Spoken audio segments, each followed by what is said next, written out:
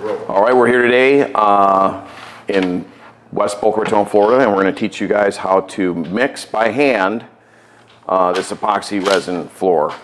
Uh, so what we're doing right now is Jimmy's opening up the A's, and I have the B here, so it's two parts A, one part B.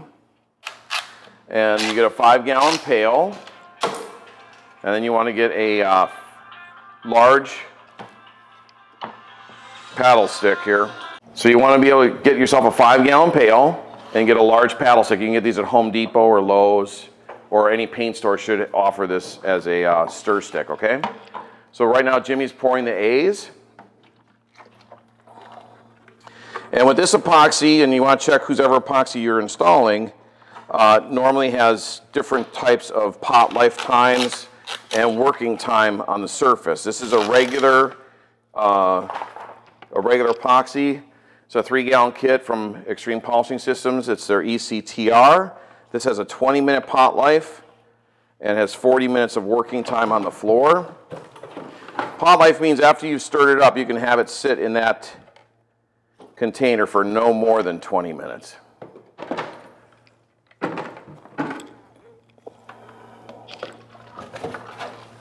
So he's doing that. We're going to mix these up right away also.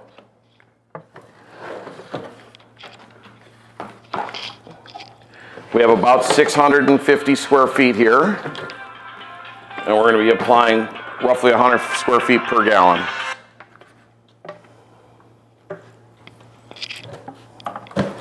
Everybody always tries to call me while we're in the middle of doing a, a video shoot. Let's see who this person is, huh? They're calling from Oklahoma. So we, uh, the nice thing is you can do this pretty much in all climates um, except it does not perform well when the substrate gets under 55 degrees. So you want to have your substrate be at least 55 degrees. And you don't want to do it in too much humidity. Epoxy's worst enemies are basically moisture and dirt. So you want to make sure your substrate that you're doing or your coating that you're doing is clean. It's always good after you've done the floor that you take a xylene and do a, a wash of the floor. Um, or you can wash it with a microfiber and, and light water, just a damp, a damp thing. But you got to make sure it's completely dry when you go to put the materials down. So what we're going to do is we're to take our B. Here's the other A right here.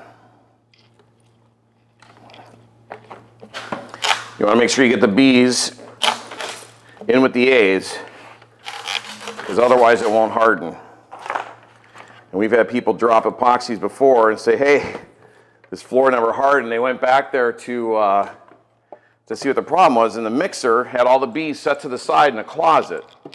So we just poured the A's into the buckets. They poured the, the, the material on the floor, and they thought that it was going to cure, and of course it didn't. So we're going to pour this one. This is a B. Jimmy's over here. He's going to stir this between two and three minutes. Always remembering to scrape the sides of the bucket and the bottom of the bucket when you're stirring.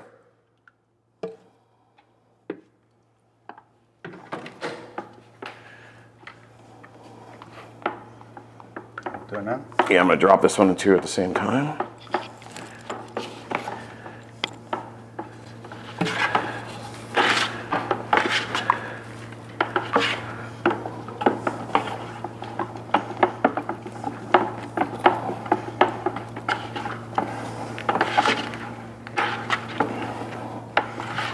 Somewhere between two and three minutes. If it's hotter out, you don't have to do it as much because it's going to activate faster.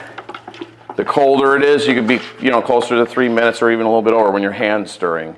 Now you can use a slow paddle mix also. We're just big fans of stirring by hand. You really get a good feel for the bucket, scraping the bottom of it, scraping the sides of it.